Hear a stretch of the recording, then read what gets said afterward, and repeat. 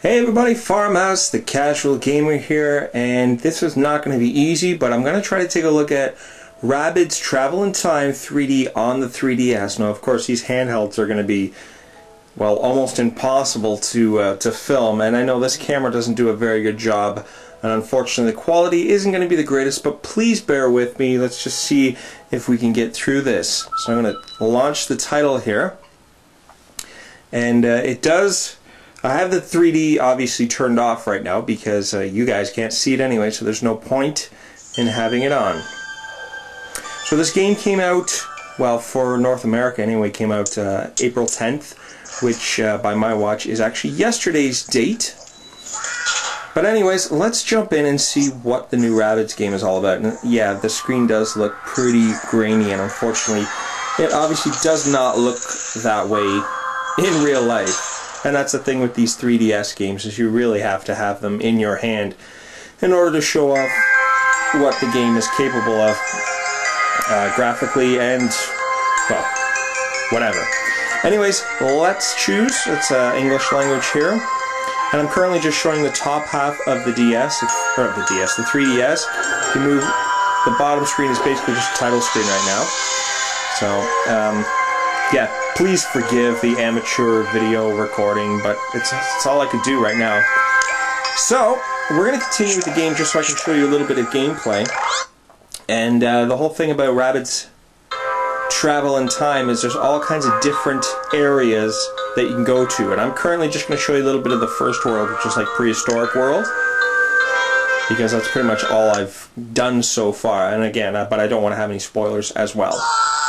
So we're going to check it out. So here is the main part of the main world. This is uh, the first area here, and as you can see, I've, I've only played through about four levels here. So, let's jump in and just show you some of the gameplay here. And, uh, da, da, da, let's just start it off here. There's different ways that you can play each level. You can do time-based, or you can do sort of like mission-based, which is where you're collecting a bunch of stuff and so it, it adds a lot of replayability, so you want to play the same level more than once. And here we go. Sorry, I'm just, uh, it's telling me on the bottom screen here all the stuff that I want to uh, look for. Okay. Okay. So here we are. Here is the, and it looks terrible. I'm sorry. This camera has a really tough time um, focusing on that screen. But anyways, the game actually, it, it does look really, really good. Um, there are very, very minimal jaggeds. Like the, uh, the Rabbid has very minimal jaggeds to him. So I'm going to try to see if I can play this through the camera without actually holding the 3DS. It's just kind of sitting on the table. Um, and it is a side-scrolling platformer game. And the reason why I decided I wanted to show off this video is because this game is actually a pretty good game. And if you're a person like me, I'm not a huge Street Fighter fan. I have nothing against the game, it's just not really for me. So when it came to, you know, getting my 3DS, it's like, okay, what game am I going to get? And if you're not a fan of Street Fighter, the launch selection is pretty limited. That's why I was pretty excited when I saw the trailer for this game, and it's kind of like a, a nice mix between Mario Brothers side scroller and like Donkey Kong Country with a little bit of Little Big Planet mixed in, if you can believe it or not. Um, so it's pretty cool. And the controls are very tight. As you can see, I'm a, a, little rabbit there, and he jumps pretty high. Pretty high. And this is the first level of the game, so it's, it's relatively easy with very minimal enemies. But you do get more enemies as you go on. Right now, it's just kind of trying to show you the ropes. So and there's a bunch of stuff that you can't unlock. You probably notice my rabbit is wearing a suit and a hat. You know, you, you don't start off with a suit and a hat. Kind of like Little Big Planet, you can collect costumes and you can change the costume of your rabbit, which is uh, kind of a neat feature. Just that little extra something to put in the game. The music is great. The graphics are great. Uh, we'll talk a little bit about the 3D, even though obviously it's not on, because you guys cannot see it. Um, if you're looking for a game to show off your 3DS to your friends, to show them how amazing the 3D is, this is not really the game for that. it does utilize the 3D and it does work very well, but it basically just gives you an element of, of the depth behind you. Nothing's really going to come flying out at you um, or in your in, in, your face or anything like that. It does make use of the 3D though, so it, it, it definitely is a 3D game. But you can play it in 2D obviously without, you know, any any issues. The 3D doesn't doesn't add a ton. It's just a little something extra that's kind of nice.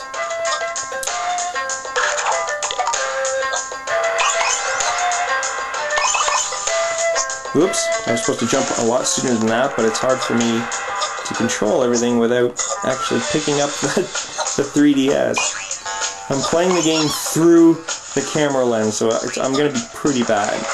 And I wish I had a camera that could record better than this. I do have another camera, and while it, it doesn't create those, you see those lines that are in the on the screen right now?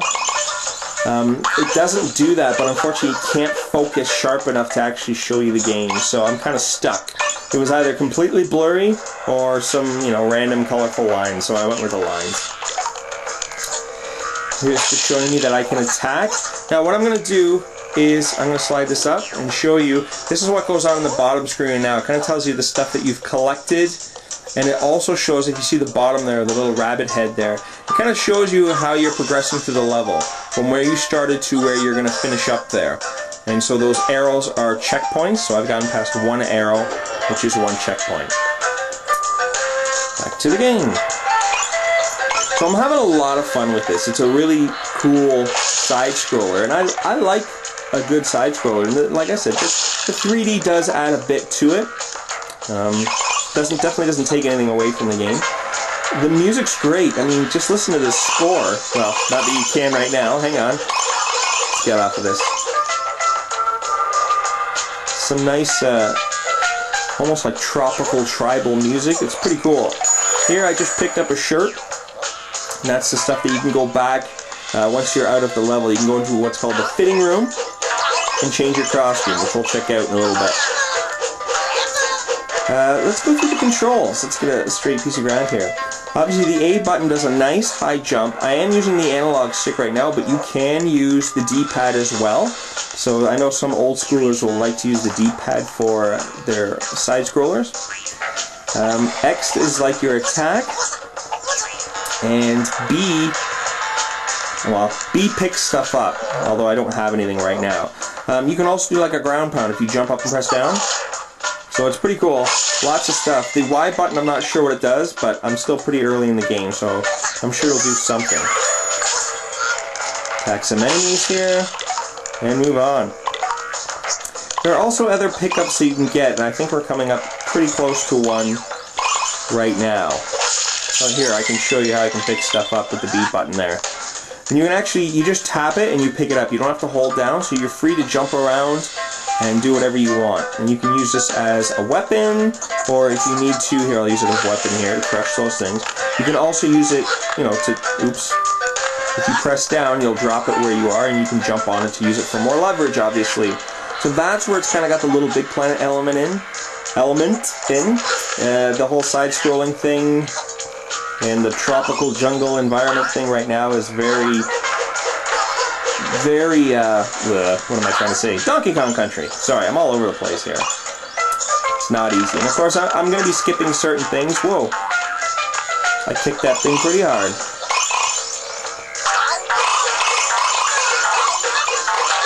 Woo! Alright, let's finish up. I know I'm not getting everything. Whoa, whoa, no, no, stop, stop, stop.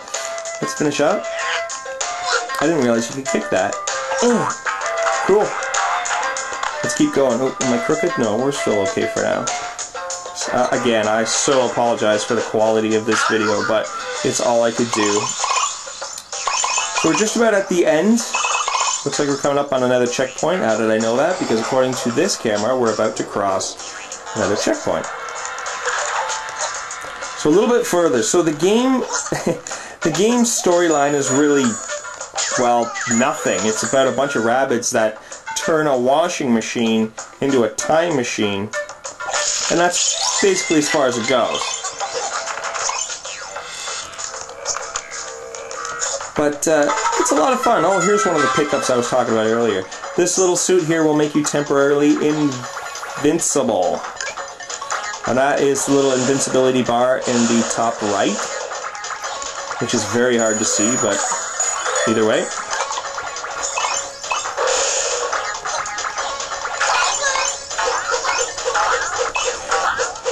Anyways, um, the first time you play through the levels, you're basically just straight up collecting, you know, coins and stuff, and uh, just trying to get through the level. But they've created some replay value by obviously giving you different missions and things you want to collect, uh, and of course there's also time-based as well. So you definitely want to go back and play these levels more than once, which gives it some nice replay value. On the back of the box it says there's over 60 levels. That's pretty generous. So if that was one level, there's another 59 of those to go. So that's pretty cool. There's a lot of content there, which is nice. See in the bottom here, it's by the stuff that I've collected and the stuff that I've accomplished, it's kind of filling up the, a bar. And the further up you uh, fill the bar, you end up unlocking some stuff. So it's currently saving. Let's jump back and check out really quick because this video is already going way too long.